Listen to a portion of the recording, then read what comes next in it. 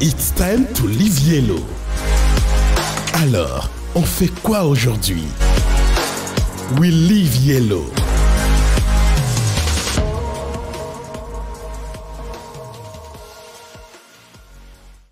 Bonjour Déborah. Bonjour Yao. Comment vas-tu? Très bien. Bienvenue en tout cas à MTN. hein. Merci. Euh, on nous a demandé de discuter d'un thème qui est, tant que je vois, pour ne pas égratigner ce qui nous a été proposé, collaboration fructueuse. Mhm. Comment les collègues peuvent collaborer avec agilité pour stimuler l'apprentissage et la croissance professionnelle?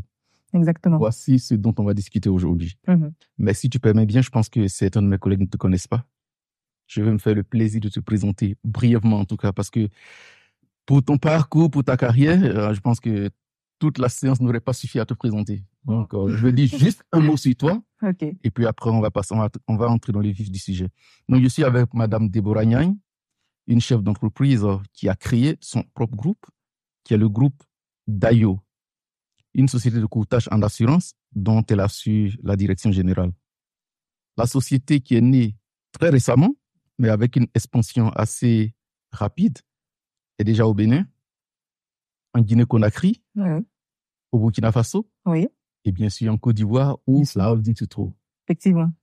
Est-ce que vous voulez, aj- tu veux ajouter quelque chose à ce que je viens de dire dans cette brève introduction que j'ai faite de toi? Euh, alors, euh, nous sommes sur plusieurs pays déjà et euh, notre ambition, elle est panafricaine, bien sûr. C'est vraiment être présent dans, enfin, dans toute la sous-région pour offrir les meilleures expériences en termes d'assurance à nos clients. Voilà.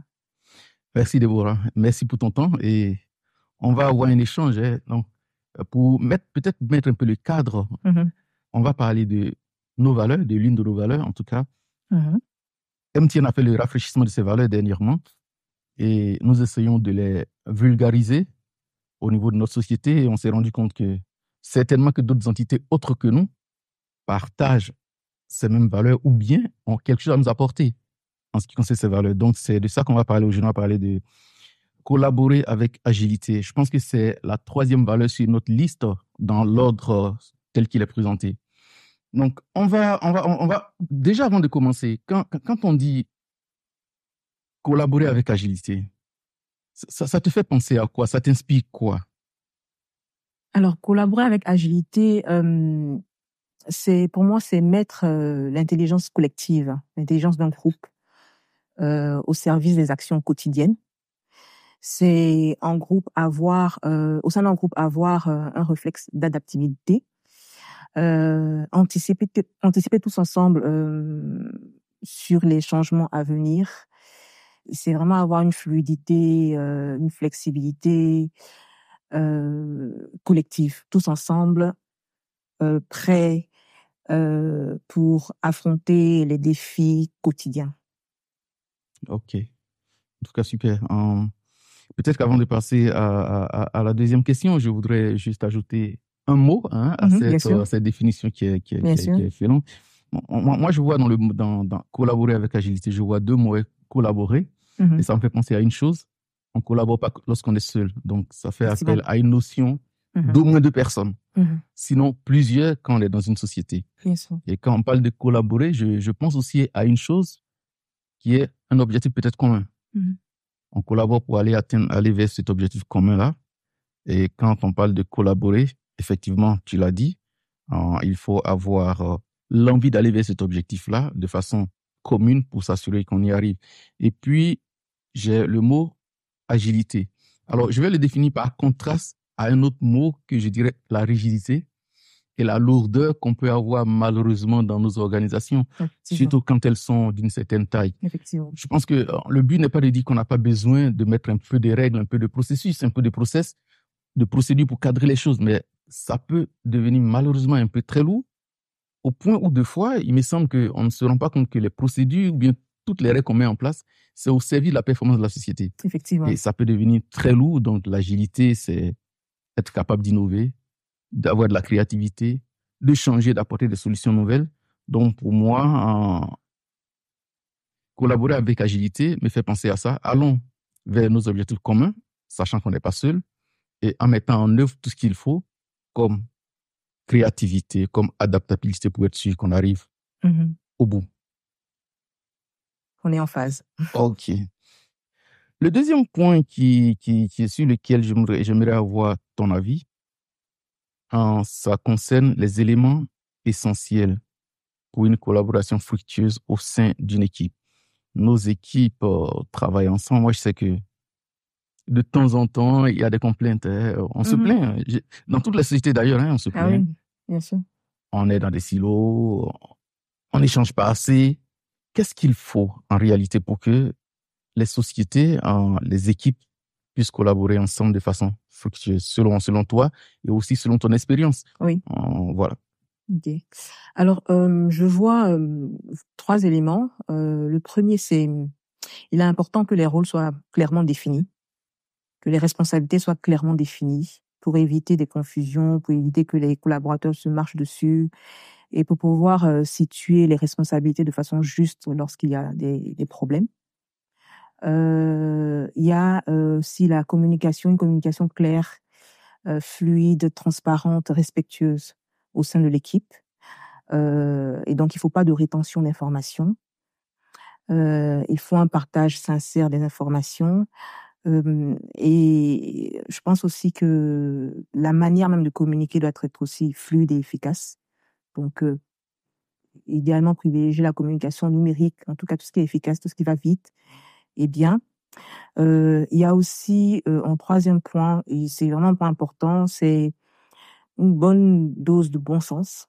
Euh, parce que je pense que dans dans le cadre d'une d'une entreprise, je pense qu'il n'est pas possible tout écrire, d'écrire des procédures pour euh, encadrer toutes les actions, tout ce qui tout ce qui est possible de faire dans, un- dans une entreprise.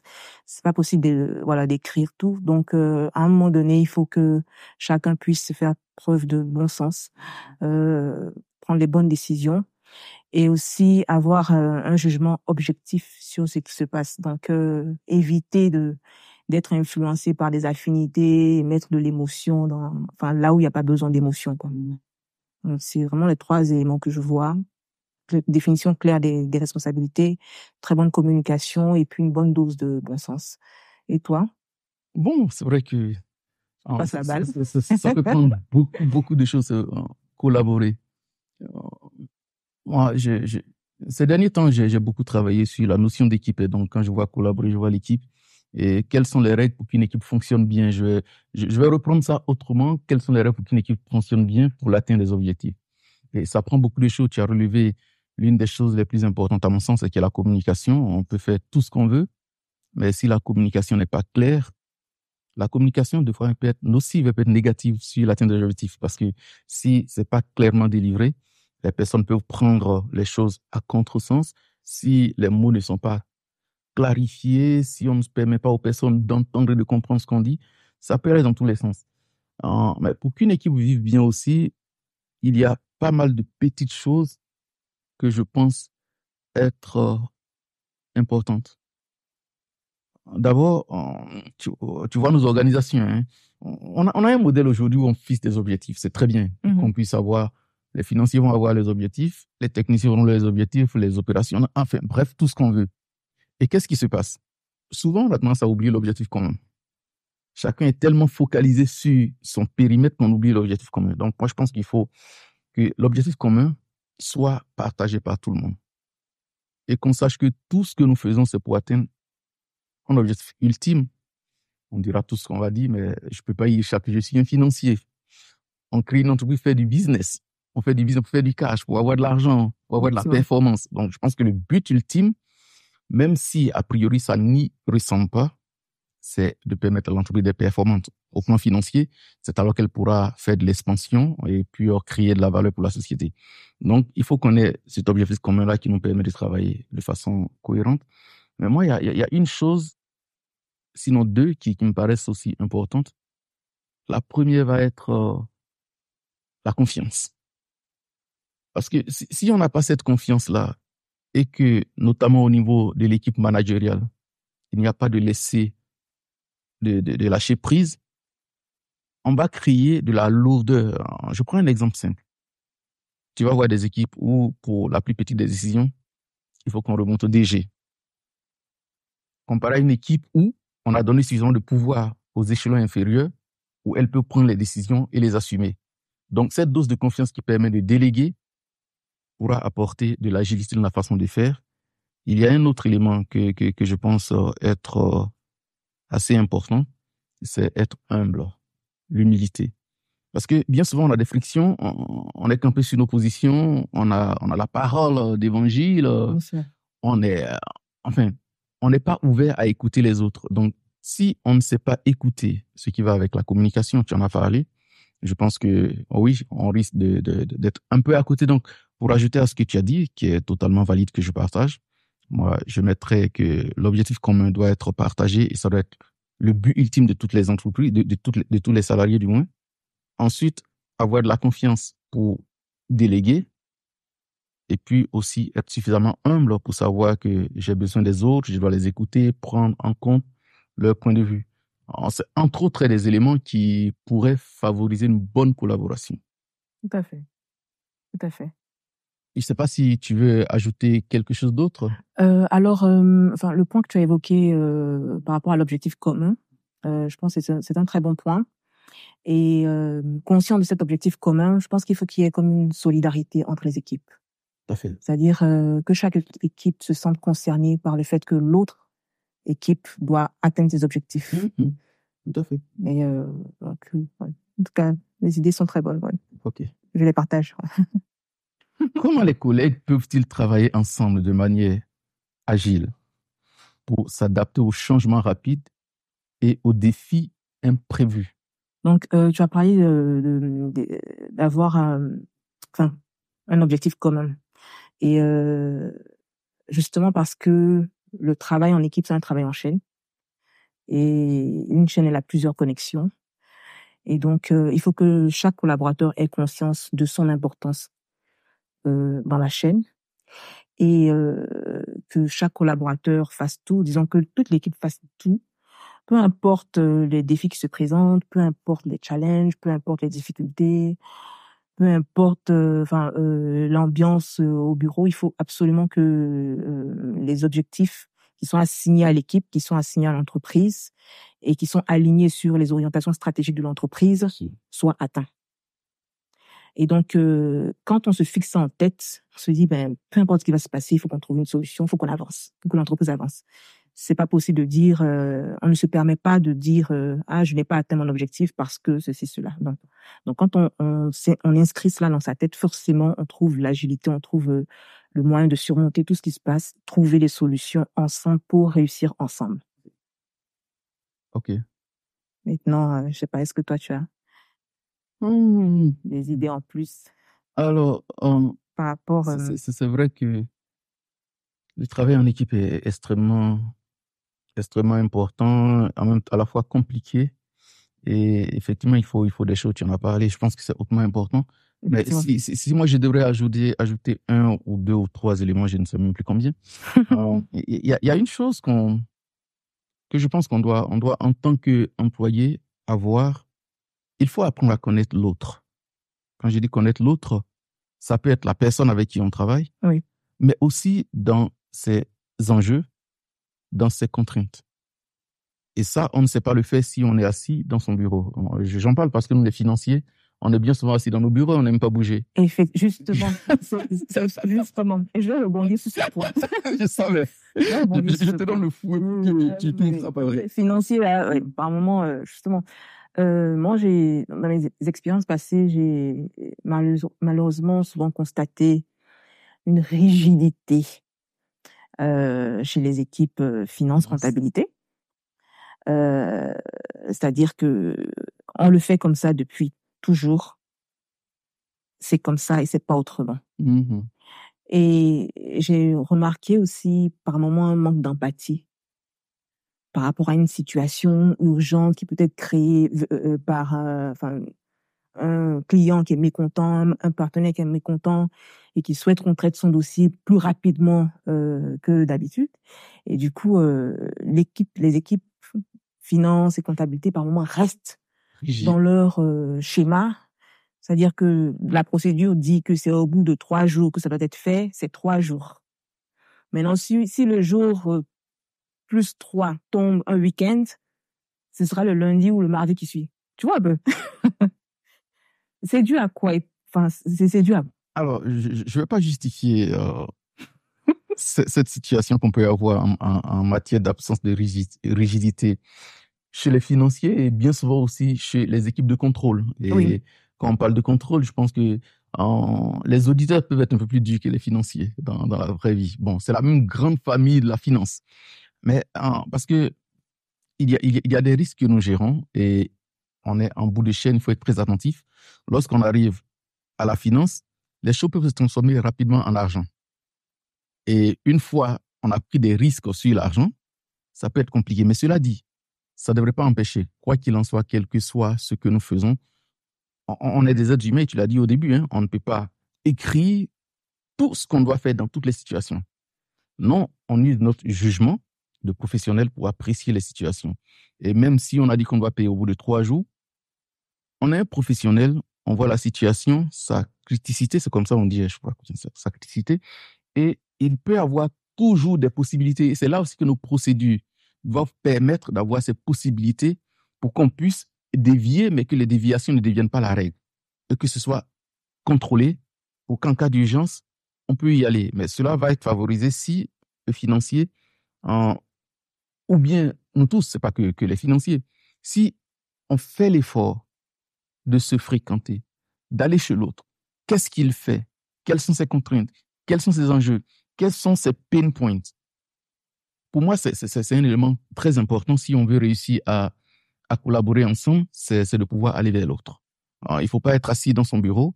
Il faut discuter, il faut s'intéresser à ce que l'autre fait. C'est important parce que tant que tu ne sais pas ce que la personne fait, tu ne peux pas comprendre. Et même le fait de rendre visite à des personnes, discuter, échanger, il y a des sujets qui apparaissent et vous pouvez en débattre avant même que ça soit un sujet compliqué. Et pour moi, il y a, il cet élément. Il y a aussi un autre élément qui est le transfert de connaissances et de compétences. Je suis dans, un, dans, dans, dans, dans une industrie qui est hautement technologique. Il faut qu'on on, on nous éduque à la technologie pour qu'on comprenne. Et nous aussi, on peut éduquer les personnes sur les contraintes. Qu'est-ce que ça, ça prend d'être financier Qu'est-ce que ça veut dire de faire telle ou telle chose Donc, en, ayant ces partages-là, ça permet aux uns aux autres de mieux se comprendre ce qui va leur permettre d'être beaucoup plus efficaces. Et puis, euh, avoir de la curiosité. Moi, je pense que j'écoutais un podcast dernièrement où il était dit que les personnes qui s'intéressent à beaucoup de sujets qui n'ont rien à voir avec le travail d'ailleurs, qui n'ont rien à voir avec leur domaine de compétences, ont un champ de vision plus large qui leur permet de pouvoir adapter, s'adapter dans des situations qu'ils vont rencontrer. Donc, ça prend de la curiosité, ça prend sortir de chez soi, aller voir les autres et en plus de ce que tu as dit. Voilà comment je pense que on peut ajouter, mais bon, on n'est sympa les financiers, attention. Hein, tu, tu, tu, tu, as eu à faire des financiers vieille école. Non, même, non, non, C'est vrai que mon, enfin, mon, enfin, l'avis que j'ai donné un peu est, est, un peu subjectif quand même. Non, ça ne l'est pas. Ça ne l'est pas, je, je confirme. Ne pensez pas que je confirme. Maintenant, euh, alors pour, euh, pour favoriser, bon, c'est une idée que j'ai comme ça, je, mmh. euh, pour euh, favoriser la curiosité et amener les gens à aller vers les autres, à s'imprégner de leur réalité et tout. Je me dis que les entreprises devraient peut-être par moment organiser des des, des, séances d'immersion inter-équipe. Mmh ok, pour pousser le collaborateur X à aller. Enfin, non, c'est clair. je pense que je pense que ça, c'est des choses que les entreprises peuvent mettre en place pour justement favoriser cette curiosité et puis cette euh, empathie. Et puis, il y, a un autre point qui me vient pendant que tu parles de, de, l'organisation de ces immersions intra-départements, intra-services. Je, je, je, lisais quelque part quelqu'un qui disait que les personnes qui s'entendent mieux travaillent mieux ensemble. Donc, dans une société, il faut créer des circonstances pour que les personnes, en dehors du travail, ça, MTN sait bien le faire. Hein. On veut organiser nos fêtes, oh, c'est de belles fêtes. Ah oui, je le vois sur les réseaux sociaux. Voilà. Je vous envie par moment. Oh, bon, tu peux faire comme nous. En plus, tu, as le pouvoir de décider. Bien sûr, oui, je le fais. voilà, donc oui, créer des, des, des, moments de convivialité, ça renforce les liens. Et quand en dehors du travail, on a des liens forts, il semble que ça se répercute sur le travail également. Effectivement. On se comprend plus facilement, on s'entend plus facilement. Effectivement. C'est ce que je voulais ajouter. Effectivement. Très bien. En tout cas, Très bonne idée. Alors, est-ce que tu peux me parler euh, d'une expérience de collaboration réussie euh, que tu as vécue et me dire quels sont les facteurs euh, clés qui ont contribué à ce succès? Hmm. J'ai mis, du temps, j'ai mis du temps à, à en trouver un, parce que, Ah ouais? Ah oui, on collabore tout le temps, tous les matins, Il y en a plein alors. tous les jours. Et, et j'ai dit, bon, ok, je vais, je vais voir, je vais fouiller dans mes vieux souvenirs. l'exemple. Et j'ai Mhm. trouvé un vieux projet. Et puis après, je suis revenu à un truc, je, vais, les- énumérer, je vais pas m'attarder dessus. Alors, j'étais encore plus jeune et j'avais conduit un projet de création d'une base de données qu'on appelle Data Warehouse, où on allait faire tous nos reporting. Donc, une base commune où on fait les reporting. Et c'était un projet de toute la société qui implique un prestataire externe.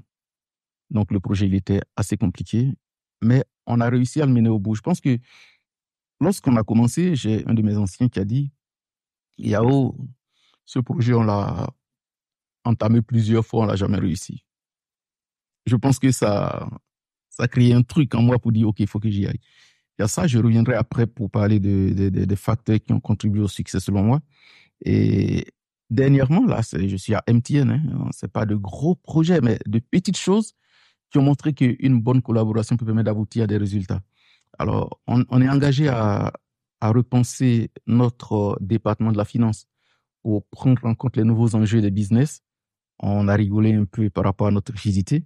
On veut apprendre à faire mieux. Et dans cette réflexion, on a décidé de définir notre vision et nos objectifs stratégiques, nos axes stratégiques. Au niveau du, du management, on a travaillé et puis à un moment donné, on dit, OK, pour les axes stratégiques, faisons confiance à nos N-1 pour qu'ils travaillent dessus. On leur a donné le temps. Ils sont allés, ils sont au nombre de quelques-uns. Ils sont revenus avec un résultat. Je suis persuadé que on aurait payé un consultant à des dizaines de milliers de dollars qui ne ferait pas mieux. Ouais. Donc, euh, ça, ça, ça a été pour nous un, un- En tout cas, on était, on était tous émus quand on a vu le, le, le rendu. C'était, c'était très bon. Deuxième chose, dernièrement, j'ai... et ça, et ça c'est, un, point important parce que j'en parle parce qu'il y a, un petit point euh, que, je vais mettre en évidence. On devrait demander à notre groupe d'augmenter notre enveloppe de CAPEX, ou bien de, comment de libérer une partie des, des investissements pour qu'on puisse les exécuter. Bon, on a dit vous faites 70%, et si vos, votre chiffre d'affaires est bon, on vous release les 30% restants. J'apprends l'information un vendredi. On était en retard sur la date de, sou- de soumission et Ouché n'était pas sur place. Quand j'ai fini ma réunion, la personne qui me dit, bon, si vous êtes capable de nous donner quelque chose ce soir, je vais forcer pour que ça passe à la prochaine session, sinon ça sera dans un mois. Donc j'ai appelé Titi, qui est ma directrice technique après ma réunion. J'ai dit, Titi, voici la situation, on a besoin des investissements. Voilà ce qu'on me dit. Qu'est-ce qu'on fait? On a commencé à bosser dessus. Les investissements dans, notre milieu, c'est très sensible. Donc c'est des sujets qui sont CEO, voilà. On n'a pas informé Ouché. On a préparé nos trucs, on a envoyé, et puis c'est après quand elle est venue, on lui a dit voilà, voilà ce qu'on a fait. Et à la fin, on nous a accordé pas les 30% parce qu'ils l'ont accordé à personne, mais on nous a accordé 15% quand même, alors que on était loin de nos objectifs de chiffre d'affaires. Alors, que- quels sont les facteurs qui ont permis, que- qu'est-ce que je peux retenir comme facteur de succès? Si je prends le dernier, c'est la confiance qui a été créée et le fait que la relation qu'on a avec notre directrice générale nous a permis de prendre des initiatives de ce niveau-là. Et on avait le même objectif, le même enjeu qui était partagé. Moi, je peux dire, je suis mon financier, je travaille à réduire mes coûts, je ne sais pas qu'est-ce que ça veut dire d'avoir des investissements importants, mais je sais les enjeux qu'il y a pour nous, avoir nos investissements, qui sont partagés avec euh, Titi, est notre directrice technique, et ensemble, on a travaillé, on s'est sacrifié, on a pris le temps qu'il fallait, produire un, document qui nous a permis d'obtenir ce, ce, ce, résultat-là. Et pour le premier, je pense que le fait qu'on nous a dit, guys, on a toujours échoué, ça a été un facteur de stimulation et on a réussi à fédérer toute l'équipe autour de ça. Il faut qu'on réussisse. Donc, notre but commun il n'était plus, il faut qu'on on mette en place ce projet, mais il faut qu'on réussisse. Et on s'est investi, je me suis investi en particulier, j'ai embêté les gens. Je peux être très fatigant, hein, quand, surtout quand j'étais un peu plus jeune. Et on a réussi, voilà. Donc, euh, c'est des choses différentes comme ça. Mais moi, je suis curieux parce qu'avec ton expérience, tu as dû rencontrer des cas similaires. Oui, hein, euh, alors je peux, je peux parler, par exemple, de, de- du déploiement euh, du groupe DAIO. C'est, ça a été, et c'est, enfin, c'est, c'est un travail d'équipe. Et euh, effectivement, c'est en peu de temps, euh, on a accompli euh, des exploits. hein. Euh, tu l'as dit dans la dans, dans ton introduction, et ça, c'est vraiment. euh, j'ai j'ai- énormément confiance en mes collaborateurs. Ils ont confiance en moi. Euh, Il y a une liberté d'expression, quoi. C'est-à-dire, je je favorise même les contradictions. C'est-à-dire, je voilà. Euh, j'apprécie quand les collaborateurs s'expriment librement euh, osent contredire euh, des, des idées, des procédés qu'on a mis en place, osent proposer de nouvelles idées, des innovations et tout. Et, et aussi, euh, un point qui est très important, c'est c'est que je j'essaie de rappeler systématiquement la vision et les orientations stratégiques qu'on les ait tout le temps euh, en tête et que vraiment ces, ces, ces orientations-là euh, rythment notre quotidien. Donc, euh, je pense que nos expériences euh, se retrouvent par rapport à ça. Et euh, je pense qu'aujourd'hui, euh, en tant que manager, on a l'obligation d'avoir une ouverture d'esprit. On a l'obligation d'accepter euh, les critiques, venant des collaborateurs. On a l'obligation d'entretenir avec nos collaborateurs euh, une relation fluide on doit absolument être proche d'eux parce que euh, les défis actuels euh, pour les relever, faut être speed, faut être smart. Euh, et les plus jeunes sont souvent plus smart que nous. Oh, ils ont des choses qu'on n'a pas. Bah hein. oui, Ils n'ont pas tout ce qu'on a. mais, Mais ils ils ont des, des choses. que voilà. Donc, quand on quand on les on les, les dirige, il y a une façon de de les gérer pour ne pas tuer leur talent justement et ça. au contraire leur permettre de de s'exprimer. de s'exprimer, de voilà, de briller quoi. Moi, je suis, je suis totalement d'accord avec toi sur un point sur lequel je vais revenir, c'est la liberté d'expression, la diversité des opinions. Une entreprise qui est en train de mourir, c'est une entreprise où tu vas et puis tout ce que le premier responsable dit, tout le monde est d'accord. Euh, S'il n'y a pas de contradiction, on, y a... Euh, comment on reconnaît ces entreprises-là? Tu vas, euh, tu participes à une de leurs réunions. Mhm. euh, le manager présente une situation et tout, enfin euh, expose son, son point de vue et demande euh, oui qu'est-ce que vous en pensez? RS. Ça, c'est dangereux. ça c'est dangereux, Je suis d'accord avec toi. Ça c'est dangereux. Et c'est- de la contradiction que, que- qu'émergent les, les, les bonnes idées. Une idée, elle peut être bonne ou bien même mauvaise au départ, mais quand elle est challengée, à partir de là, on peut en sortir quelque chose de grand. Et, et je pense que tous les managers, à quelque niveau qu'ils soient, devraient comprendre cela. Malheureusement, il me semble qu'il y a des managers qui laissent pas la liberté qu'on s'exprime, qui ne supportent pas qu'on critique leurs idées. Ils confondent leurs idées à leur personne. Mhm. Et puis bon, Oui. euh, si on critique ta personne, tu n'es pas Dieu. Ouais, et puis quoi And so what Très bien, si. Et Ces entreprises sont limitées, leur Voilà. croissance est limitée, C'est ça, c'est ça. leur croissance est limitée, malheureusement. Ouais, ouais. En tout cas, il faut une bonne dose d'ouverture d'esprit pour être un bon ma- manager aujourd'hui. Les conflits. Nos entreprises ne sont pas des des environnements euh, tout, toujours tout paisibles, euh, calmes, euh, où tout le monde se, se- sourit du matin au soir et tout. Il y a souvent des conflits, des désaccords entre les collaborateurs. Euh, alors comment comment gérer les conflits? Comment tu gères toi? Pour ne rien manquer de notre prochain numéro, suivez-nous sur LinkedIn, YouTube et la Yellow Radio. Live Yellow, nos valeurs, notre identité.